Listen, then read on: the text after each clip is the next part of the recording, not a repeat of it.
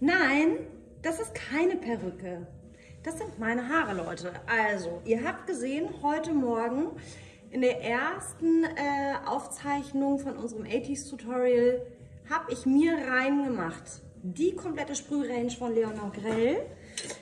Ich zeige sie euch noch mal ganz kurz im Schnelldurchlauf. Das Wichtigste war eigentlich Spray Coiffon für meine wunderschönen Locken, wie ihr sehen könnt. Ähm, und ein Tonic, was das Ganze fixiert. So, das Coole ist an der ganzen Geschichte, dass man bei diesen Produkten, vegane Basis übrigens, immer noch mal ein bisschen mehr reintun kann.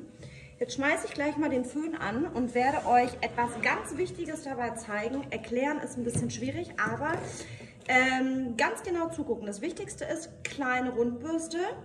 Ich bearbeite mir jetzt mal extrem meinen Ansatz und dann zeige ich euch nämlich auch noch einen super coolen Trick. Also,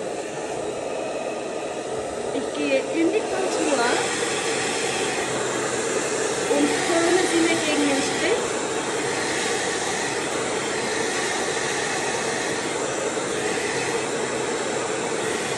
Ihr auch Spannung und ihr seht, dass ich ziehe.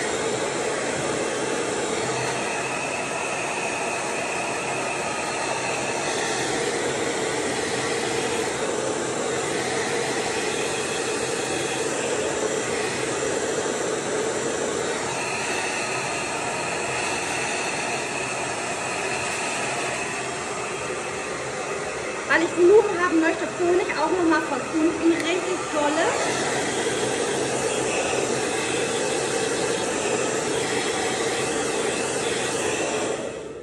So, wenn eure Haare genauso strohig und genauso trocken sind wie meine vom vielen Färben und Umformen und so, müssen wir uns ja nichts vormachen, dann nehme ich nämlich dieses wundervolle Serum und gebe es mir ins Haar, nur natürlich nicht an den Ansatz, weil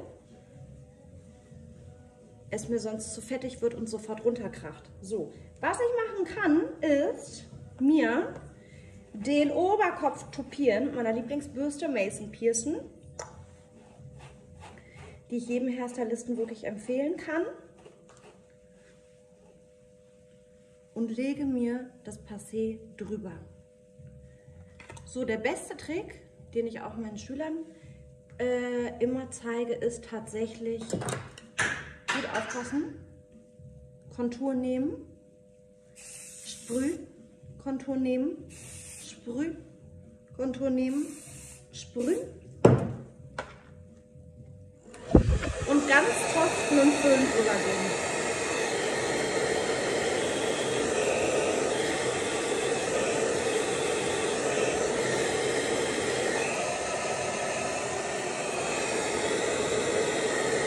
Dadurch werden die Seiten relativ hart, aber trotzdem immer noch beweglich.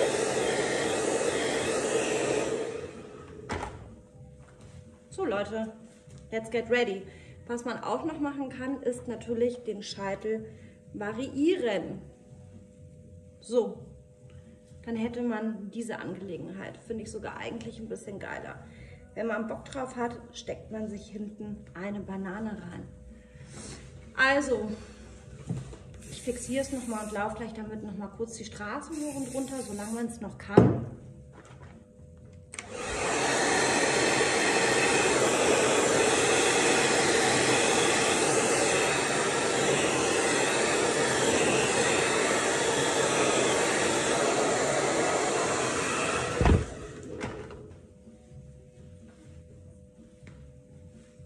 Ready, ready, ready.